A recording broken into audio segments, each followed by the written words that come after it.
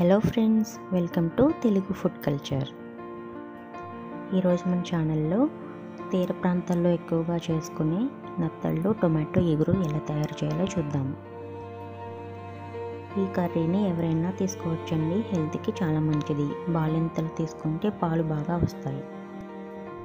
దీనికి కావాల్సిన పదార్థాలు రెండు నత్తళ్ళు వంద గ్రాములు ఉల్లిపాయలు రెండు టొమాటోలు రెండు నూనె మూడు టేబుల్ స్పూన్లు ఉంది అల్లం వెల్లుల్లి పేస్ట్ వన్ టీ స్పూన్. పసుపు పావు టీ స్పూన్. పచ్చిమిరపకాయలు నాలుగు. కారం వన్ టీ స్పూన్. ఉప్పు తగినంత. కొత్తిమీర కరివేపాకు కొద్దిగా.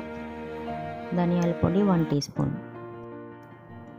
ఫస్ట్ ఈ నత్తళ్ళని బాగా నాలుగైదు సార్లు వాష్ చేసుకోవాలి. ఇందులో ఇసుక లాంటివి ఏమైనా ఉంటే పోతుంది. ఇప్పుడు పొయ్యి మీద ప్యాన్ పెట్టి one and half tablespoon ఆయిల్ని యాడ్ చేసుకోండి. ఆయిల్ వేడైన తర్వాత మనం శుభ్రంగా వాష్ చేసి పెట్టుకున్న నత్తళ్ళను ఇందులో వేయండి. చేపలన్నీ కూడా బాగా ఫ్రై అయ్యేలాగా కలుపుకుంటూ బాగా ఫ్రై చేసుకోవాలి. ఫ్రై చేసేటప్పుడు స్మెల్ రాకుండా పావు టీ స్పూన్ పసుపు పావు టీ స్పూన్ కారం యాడ్ చేసుకోండి. బాగా కలుపుకుంటూ ఎర్రగా వేయించుకోండి.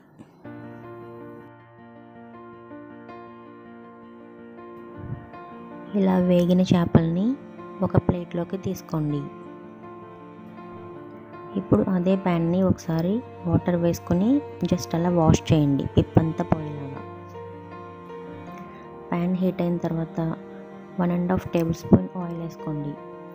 దాంట్లో తరిగిన పచ్చిమిరపకాయలు ఈ విధంగా ముద్ద చేసి పెట్టుకున్న ఉల్లిపాయలు యాడ్ చేసుకోండి.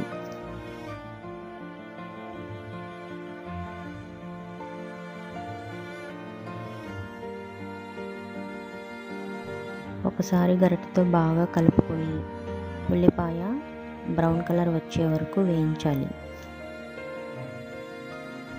మంచి సువాసన కోసం కొద్దిగా తరిగిన కొత్తిమీర కరివేపాకుని యాడ్ చేసుకోండి. బాగా కలుపుతూ ఒక రెండు మూడు నిమిషాలు మీడియం ఫ్లేమ్ మీద ఫ్రై చేస్తూ ఉండండి.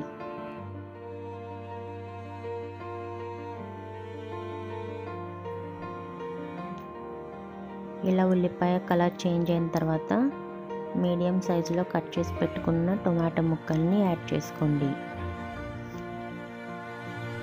టొమాటోలు ఇలా కట్ చేసుకుంటే మనకి ఇగురు తినేటప్పుడు అవి తగులుతూ ఉంటాయి మధ్య మధ్యలో.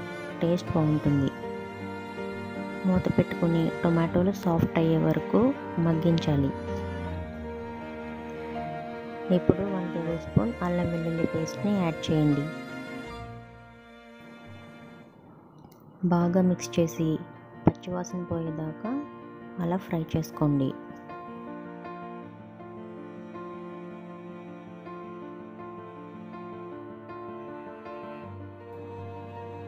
ఇప్పుడు ఇందులో పసుపు ఉప్పు కారం అన్నీ యాడ్ చేసుకోండి.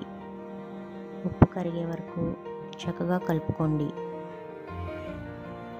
అలా ఒక నిమిషం పాటు వేపుతూ ఉండండి.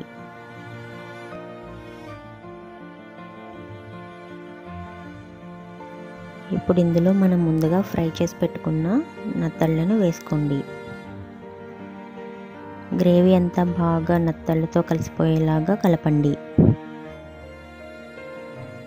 ఈ విధంగా కలిపిన తర్వాత ఒక రెండు నిమిషాల పాటు మూత పెట్టి మగ్గించండి.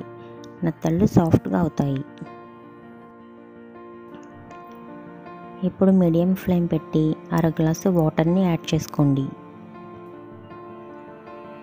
దగ్గర పడే వరకు సిమ్లో పెట్టి ఉడకనివ్వండి.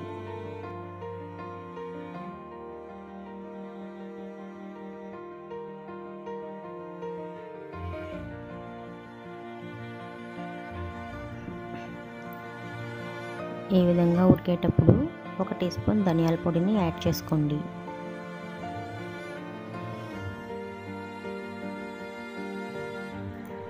మూత పెట్టి ఇంకాస్త చిక్కబడనివ్వండి. చివరిలో కొద్దిగా తరిగిన తాజా కొత్తిమీరను పైనుంచి చల్లుకోండి. ఎంతో రుచిగా ఉండే నత్తళ్ళ కూర రెడీ అయింది. ఈ కూర అన్నంలోకి కలుపుకొని తింటే చాలా రుచిగా ఉంటుంది. థ్యాంక్ యూ ఫర్ వాచింగ్ ఇలాంటి మరిన్ని రెసిపీల కోసం నా ఛానల్ని సబ్స్క్రైబ్ చేసుకోండి.